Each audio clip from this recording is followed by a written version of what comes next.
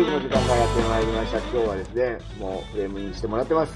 ランクヘッドから、小高くんあこんばんち。は。ね、小高です。お久しぶりです。お久しぶりか。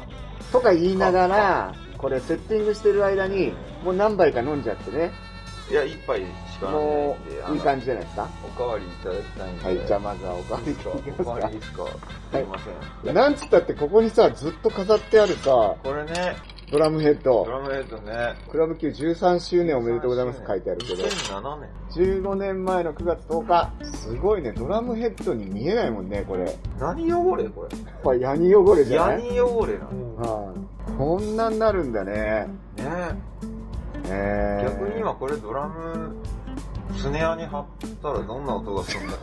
ろ ボーッとか言うんだよ。もうさ、スネアとかいうより、あの、大太鼓みたいな、うんそんな感じがしますけどね。ねえ、今日はですね、はい小高くんが、う。はい。なんか、俺にご馳走してくれるっていう話があって、そうそう、なんかね、世の中、沖縄ブームもスタンダードになり、人参しりしり。人参しりしり人参しりしりってなんだろうえー、沖縄なんすね。沖縄だと俺は認識しております。オッケーオッケー。じゃあその人参しりしりっていう言葉を聞いて、連想するものお、を、お、お、ちょっと小高くんに提供しようかな。楽しみです。イメージでちょっとご馳走しちゃおうかなと、先にね。人参しりしり人参しりしり。しりしりって、何なんだか、俺もわかんないですよ。人参は人参でしょう。でも、人間じゃないよね。人間じゃないです。ポン菓子ってあるじゃないですか。北関東は、ポン菓子のことを北関東だと、人参って言うんですよ。へまあ、人参みたいな袋に入ってるからっていう理由なんですけど、あれ、兄さん、ー。はい。地元九州でしょそうですよ。ポン菓子のことなんて言います？えー。ポン菓子がわかんないな、まず。パパフ、あの、うんうんうんパフとした。ポン菓子がわかんねえ。わかりますよね。ああ、ああ、ああ、ああ、あえーっと、団地にトラックが来てう、ん。子供たちがお米を持ってくると、うん。パーンって言わせるやつそれそれ、それ。それ？うえーっとね、なんだっけあれ？ん。なんか、土地土地で呼び名が違うんですよね。うん。うん、ポがつくな。俺んとこの地元は、うん。パン豆って言うんですよ。とりあえずですね、うん。人参切ってみました。もうほんと、ほぼほぼ人参しりしりなんじゃないですかね。そうですね。一応これ使ってみますわ。え、なんすかそれ。なんすかえ、今何、何が見えた俺に？何が見えたんだ？しりしりっていう言葉にうん。なんか秘密があるんですよ。秘密があるのこういうかな感じで。ね。しりしりって何なんだろうな？人参しりしりで、うーん、沖縄でしょ？沖縄はないので、お、酒。甘み黒糖焼酎弁当。沖縄に近い。日本語面白いですね。あの、ケンケンモガモガっていう日本語知ってます？ケンケンモガモガわかんないですね。ケン違う違う。あれだ、チン、チンチンモガモガだ。チンチンモガモガ。は、わかんない。かゆい感じじゃないの？かゆい感じではないでこれシリシリしますね、だから。シリシリする。はいおー、かっこいいシリ。シリできない。あ人参が重くて全然シリシリいかない。なるほど。そうかそうか。エキス出てんすかね。チンチンモガモガは、はい男女仲がむつまじいこと。えー、じゃあそのまんまじゃないですか、大体。そのまま、大体そのままです。うんチンチンをうんもがもがするぐらい、いうん。これ使えるのかしら、この人。やでも男女仲はむつまじい。えー、いいじゃないだからチンチンをもがもがしてるっていう。別にチンチンカモカモっていう言葉もあるんですよ。それはどこ、どこ地方ですか？まあこう、全部古語ですね。古語。なんかただのチンチン講習会みたいになってますけど。チン講習会。古語ですね。はいはい。ケンケン遊びみたいな。意味ですね。ケンケン遊び。ケンケンパーのケンケン。ケンケンパーみたいな。チンチンカモカモ。チンチンモガモガは、男女仲が結ばれる。お、ほのかに、桜色。綺麗ですね。あ、ちゃんとすげえ、色出てます色ね。出てますね。すごい。ね。ねえ。いいですね。あ、思った以上にちゃんと、それでね、そうだな。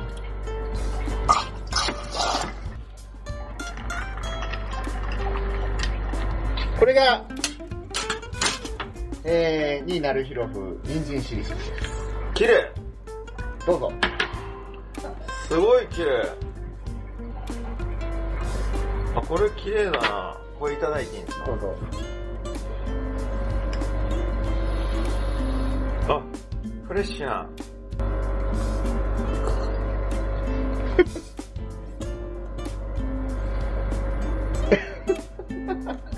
絶妙な顔してるね。人参と、何が入ってるんですか？ベント。レント、レントは米、黒糖、黒糖か。と、そうだ。うん。めっ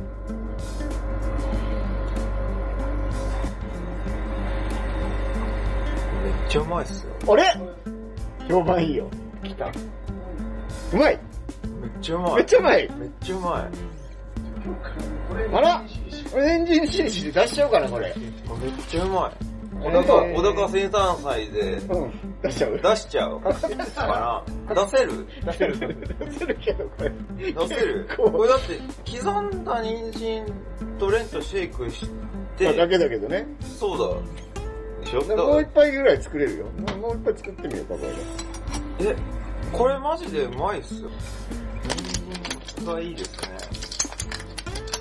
これね、いつものシェイクよりたくさん振らないといけない。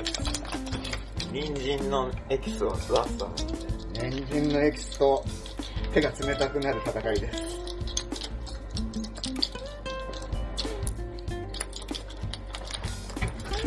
振りすぎ。トム・クルーズばりに振ってますよ、これ。トム・クルーズこんな売らないわ。こ れ美味しいな本当に美味しいなフルーティーですね。えー、でも、お酒ってそうだよね。なんかのこの、果物とか米とか、そういうののエキスで作ってるんだよね。なんて言うんだろう、この、生っぽさが、うん。逆に、すごい爽やかな要素に働いてる。おー。まあでも、うまくてすいませんって感じ。番組的にはまずいのを期待してたんでしょそうね。じゃあちょっと店長にこれ飲んでもらいましょ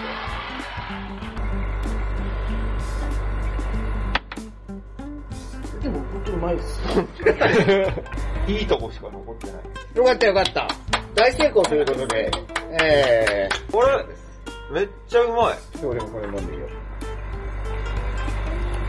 ありだね、これめちゃめちゃね。めっちゃあり。めっちゃありですね。普通にありだ。普通にありだ。えー、じゃあ全国の皆さん、これで人参しりしり焼酎よろしくお願いします。えー、じゃあそういうわけで、本物の人参しりしりを、小高君教えてもらっていいですか？はい。小高君初めて簡単入ったじゃないですか。Q の厨房に入ったバンドマンもそんなに、えー、いないないような、いるような、勝手に入られたような、いろいろ。っていうか、ランクヘッドが初めて Q に出たのは、えーはい何年のことだか覚えてますか？えーっとね、2001年の9月1日かな。あ、すごい。日にちまで覚えてる。うん。結成が？1999年の3月なんですけど、愛媛の新居浜ってとこでえ卒業ライブをしようってなって、それで俺と、まあ、ここにもありますけど、うん。ドラムのね、石川亮くんが先に上京して、残り2人が後に上京して、ちゃんと東京でやり出したのが2000年ですね。おー。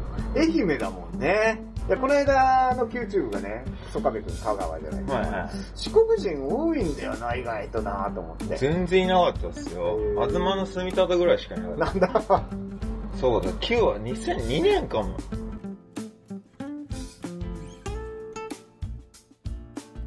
きっかけなんだったんだっけ？とりあえずやっぱり下北沢っていう街に憧れがあって。憧れがあった。ええバンド、やっぱブルーハーツとか、うん。ミシェル・ガンエファンとか、バンドをするのは下北沢ってイメージがあって、で、屋根裏と、まあこの間惜しくも閉店したガレージ、あとシェルター、うん。とオーディションを受けて、で、シェルターは受かなかったんですけど、うん。屋根裏とガレージは定期的にライブできるようになって、うんだいぶ経ってからいい、なんかやっぱ Q ってすごい敷居が高いイメージが、そっか。もうすでにその時に。2002年の9月ですけど、今更ながら Q を受けようってなって、うん自分らをこうステップアップしていくために、うん Q のオーディションを受けたんはい。ですよ。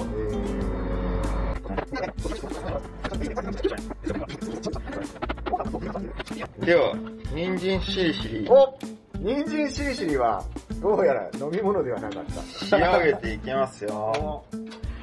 ごま油使うの？ごま油使います。サラダ油でも大丈夫です。しりしりってそもそも何なんだろしりしりって何なんでしょう？コメントでもらえますか？うね。ああ、しりしりには本当の意味を教えてください。しりしり何なんだろうな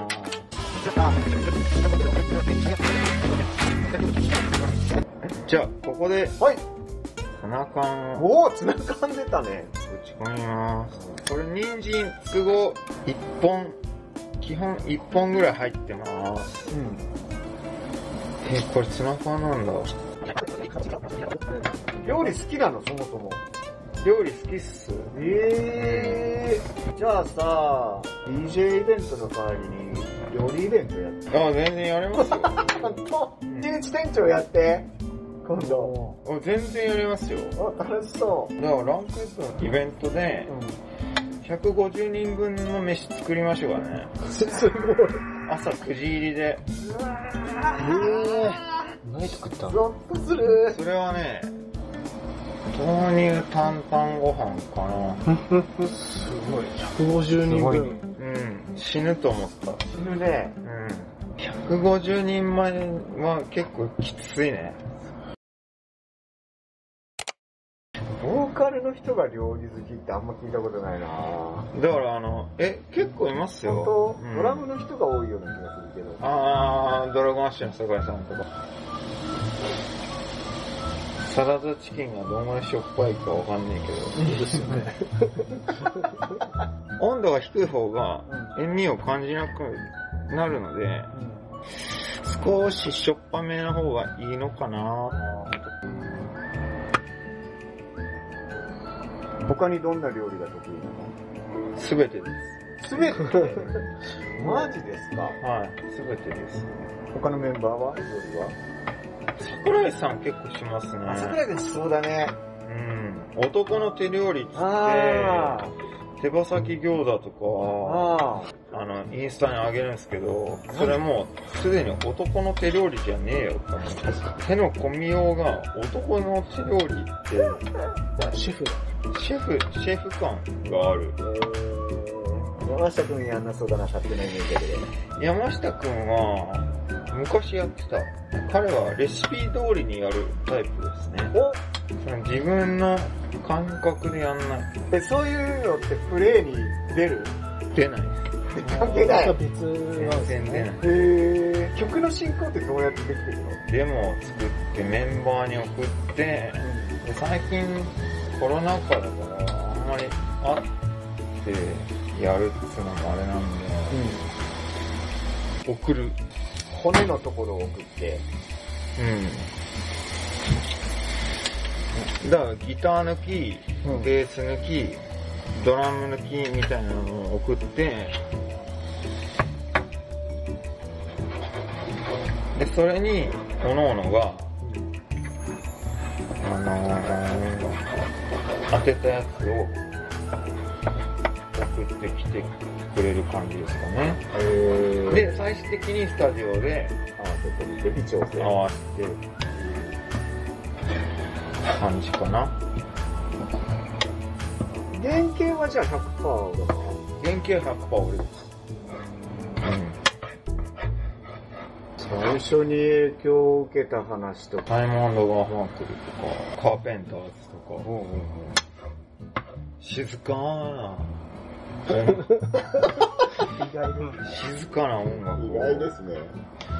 静かな音楽からあれになりますか。そういう意味では、その、ユニコーン、ミッシェルに出会い、そしてナンバーワールなんだよ。あナンバーワールは上京してからだから、一瞬そういう時あるんだよ。俺もね、小学4年生の3ヶ月間だけオフコース好きっていうのがあっ右さんにオフコースの要素はあんまりオフコ感じられないース。はね、結構染みてるよ、俺。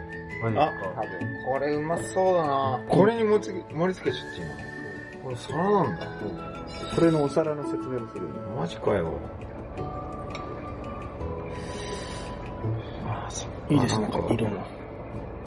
こうしたらなんか、小口ネギとかあったらよかったね。なんかライブハウスのいいところって普段いい匂いしないはずのところで、いい匂いがすると、めちゃめちゃいい匂いって。ギャップがね、たまんないですね。これが、本物の人参しりしり。全然飲み物じゃなかったですね。うわー。いただきまー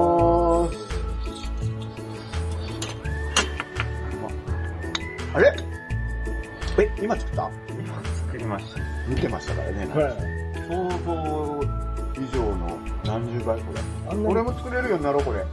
これ誰でも作れます。誰でも作れる見てたでしょ見てた、見てた、見てた。ましたよね。酔っ払ってても大丈夫ね。酔っ払ってでも作れる。うん。どんぐらいうまいかっていうと、音流っていうテレビ、テレ東の番組でね、マスコさんが司会だったんですけど、なぜか、その、俺らが出た時に、人参しりしりを俺が作るっていう話になっちゃって、なったんだでも番組内で作ったんですよ。マスコさんが、うまいうまいって言って、うん。うん。全部食っちゃったんですよ。あれ？これ本当に美味しいねって言って。いや、実際うまい。で、オンエア、夜中の3時ぐらいだったんですよ。俺楽しみにね、うん。地上波だし、うん。頑張って起きて、うん。見たんですよ。で、俺が人参しりしり作って、うんマスコさんがうまいうまいっつって食って、うん。終わったんですよ。で、ランクヘッドのことは何もない、ただの料理人みたいな。そうそう。あの、人参しりしりお兄さん誰だったんだみたいな状態だ。まあよかったですね。で、その次が、プラドボサークルで、うん。青年さんはう、んうん。アルチで、フラットも終わったんです。地上波オンエすごい番組です。もしかしたらこの YouTube もそうなっちゃうかもしれない。地上波で、やっと出れた2バンド、それで終わりですからね。なるほど。大丈夫です。クラブ Q はですね、えーランクヘッドの2ステージライブがはい。はい決まってますから。そうです。なんせ小高さんの誕生日も兼ねてますそうねなんですよ。去年もやらせていただいてね、うん。4月17日、うん。今年も小高義太郎生誕42周年記念生誕祭をクラブ級で昼夜とやらせていただきます。よろしくお願いします。えー、楽しみ。去年ね、実は一緒にジョン・レノンやったじゃないですか。あれもうね、一昨年あ、一昨年になるのか。一年の暮れ。まあ感覚的には去年だけど。ねいやー、その時にね、Q でやるのがもう嬉しい Q にいるのが楽しいって言ってくれて、じゃあぜひもう誕生日盛り上げようじゃないかということでね。何しろ2ステージだもんね。こっちも全力で持てる全ての人材機材を使って盛り上げていこうと思うんで、まだチケットあんの？これはバンドマンみんな言ってるんですけど、え、キャパを減らしてもうん。売り切らんと。キャパを減らした意味がないぐらいうん。全然人が来ない。あのー、やっぱりね、お客さん慣れてる人は何回も何回も来てくれるんだけど、やっぱまだ心配っていう人がいるんですよ。大丈夫です。100%クラブ級で感染したっていう人は今いませんから。なんかね、うちはね、換気がいいみたい。換気がいい。もちろんみんなね、従業員頑張って消毒とか毎日やってるんですけど、ぜひ安心して来てください。ランクヘッドは安全です。ライブハウスに来てくれるみんなは分かってるんですけど、やっぱりその周り、家族、うん。友達、職場、そういう周りの人らがライブハウスってやっぱり怖いんじゃないのっていうのがすごい聞こえてきて、ね。家族と大喧嘩してきましたとか、会社に黙ってきましたとか、あすごい多いんで、うん。なんか、俺らも、それ以上は踏み込めない、みんなに任せるしかないところなんですけど、でも、なんでライブハウスはダメなの？っていうのを本当に日々思い続けるじゃないですか、俺ら。ね。まあ、だからその、思われることはさう、んしょうがないわけで、もっと昔で言うと、うんやっぱ行っちゃいけない場所だったから、僕らが高校生の頃とかは。ライブハウスはね。ね、そもそも不良が行く場所とかいうことで、うん行っちゃいけない場所だったんだけど、実はこの間さ、八丈島からさ、高校生がさ、職業研修みたいな形で、学校の先生から電話があって、ぜひ体験させてください。え、大丈夫ですか？こういうコロナの時期にって言ったら、うんそれでも、えー信頼してるんで、行かせてくださいって5日間来てたのよ。うんでそういう話もあるぐらいだから、既成事実として楽しい以上に安全とか感染リスクは少ないですよ。100%とは言わないけどね。で、やっちまった。いや、まあ、まずその危険だ、危ないっていうイメージを払拭するのに何をしたかって言ったら、落書きをしないとかしたの。うんで Q って多分落書きしないライブハウスとして早かったと思うんだけど、ちっちゃい努力を積み重ねていくうちに、ドーンとお客さんが来るっていうの？が、楽屋っすか？楽屋でも階段でも。あそうそうそう、その事実作っていけば、だんだん戻って戻ってきてくれると思うんで、だそれあ、それです。それなんです。コロナ禍っていう中で、逆にライブハウスは安全、うん安心、うん。楽しいうん。場所なんだっていうことをうんアピールしてうん。いけたら、そうだね。こっから先、逆に俺らバンドマン、ライブハウスが、より良い未来を築いていけるんじゃないかなって思っております。もういい話、これね、一番いい話。というわけで、今日はランクヘッドの小高くんに来ていただきました。どうもありがとうございます。チャンネル登録、よろしくお願いします。小高さんのバースデーライブも4月17日、お願いします。はい、ありがとうございました。小高くんでした。マジで美味しかった。もう一回おかわりしていいですか？